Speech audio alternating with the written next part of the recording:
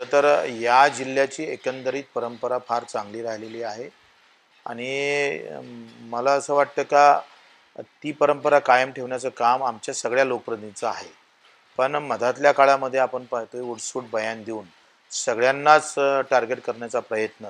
मधात प्रवीण पोटेजींना टार्गेट केलं तुषार भारतींना टार्गेट केलं मला टार्गेट केलं बळवंत वानखरेंना टार्गेट केलं आता यशोमती ताईला टार्गेट केलं जातं बळवंत वानखरेंना म्हणतात तुम्ही चपला उचलताय यशोमती ताईचा. म्हणजे आमदारांनी एका आमदारावर कुठल्या लेवलचे आरोप केले पाहिजे याचं काही तारतम्य ठेवलं पाहिजे. आणि मग राजकीय परिपक्व नसल्यामुळे ह्या ज्या गोष्टी आपण करतोय ह्या चुकीच्या आहे. आणि याच्यामागं आता त्यांनी असंही म्हटलं खुद नवनीतजी राणानी का बा त्यांनी पैसे घेतले आमच्याकडून. कडक नोटा घेतल्या यशोमतीताईनं प्रचारासाठी. मग इथं प्रशासन करते काय? यावर लगेच गुन्हे दाखल झाले पाहिजे. हे स्टेटमेंट हे काही गंभीर स्टेटमेंट आहे लहान गोष्ट नाही आहे. आणि जाहीर एकोणीसमध्ये पैसे घेतले आणि तेवीसमध्ये तुम्ही ते बुंबलत असाल तर मी सुद्धा त्याची तक्रार करणार का? याचं निरासरण झालं पाहिजे. आणि मग या सगळ्या गोष्टीवर आमचे देवेंद्रजी फडणवीस जे आहे ते राणा दाम्पत्यांच्या अतिशय जवळचे आहे.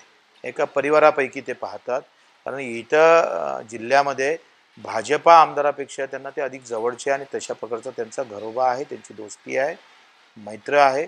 त्यांनी आवर घालायला पाहिजे काय याला आपल्या अभयमुळे जर अशा पद्धतीनं होत असेल तर ते चुकीचं आहे.